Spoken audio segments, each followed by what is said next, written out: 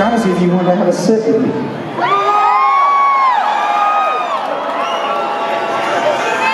Vega, you? Uh-oh, Vega.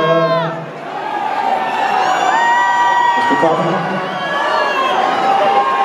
He's.